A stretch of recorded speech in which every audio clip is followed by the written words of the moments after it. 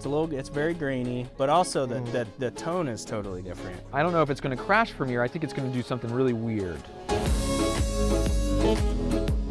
In my work as a video editor, color correction is often an important part of the process. And by color correction, a lot of people in the industry divide that up into two different phases. The first part is where you take raw footage from the camera and you try and correct those colors to be what you expect.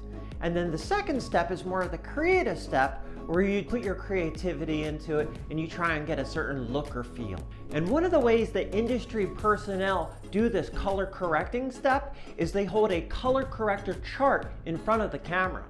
Simply having an actor hold a chart like this in front of the camera, then later on when you're editing the video and doing the color correction, you can look at this chart in the footage and then you can see what adjustments need to be made in order to get the colors quote unquote correct. Like if the blue isn't blue enough, they'll crank up the blues, or if the yellow has shifted red, they'll try and shift it back. The great part about that is that in 2023, we have automated tools that will look at this color corrector chart and then correct the colors for you. It's nice. This is where the shirt comes into play. I was looking for cool video editor t-shirts and then I came across this shirt with the color corrector chart on it. And I'm like, oh, this has got adventure written all over it, right? I'm quite ready for another adventure. As soon as I saw this shirt, I knew exactly what I needed to do.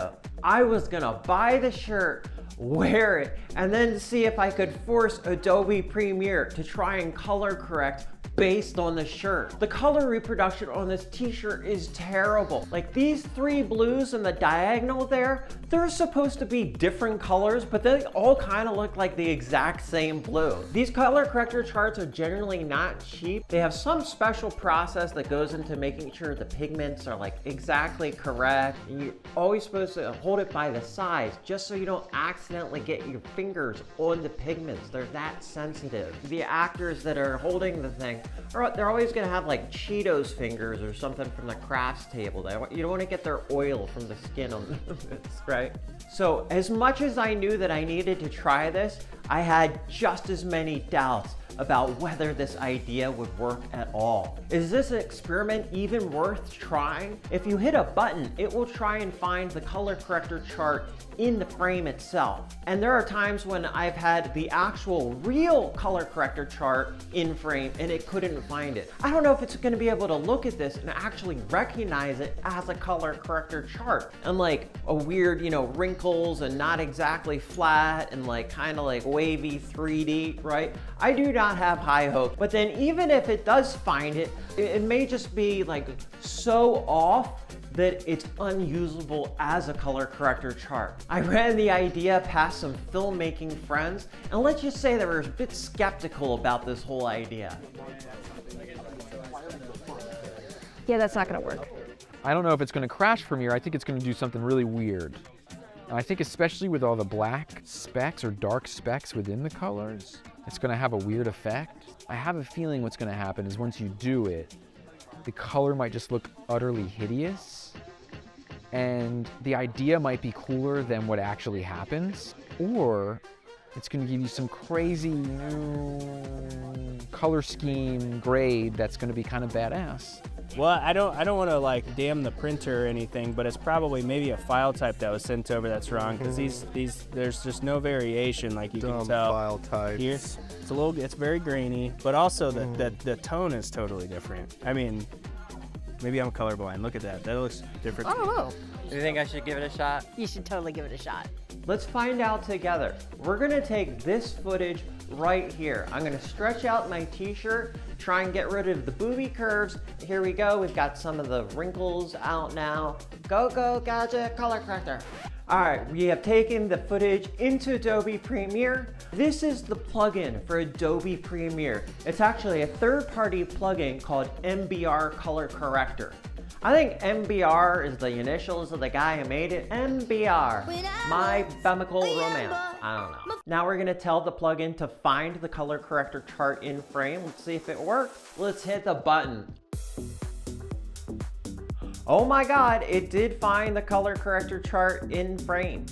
The four edges of the color corrector chart actually line up and match what's on the t-shirt. So obviously the colors are different. You can see that, you know, it's not perfect match color-wise, but the colors are in the right spot. That's mind-blowing right there that that even worked. Let's go. All right, we're halfway through the video. I'm gonna take a break from recording. I'm gonna take this footage into Adobe Premiere and we're gonna see what happens. Then I'll record the rest of the second half of the video right after. So now to actually apply the results of the color corrector, big reveal. Oh my God, okay. Well, like it definitely worked and like it's, yeah, okay, okay.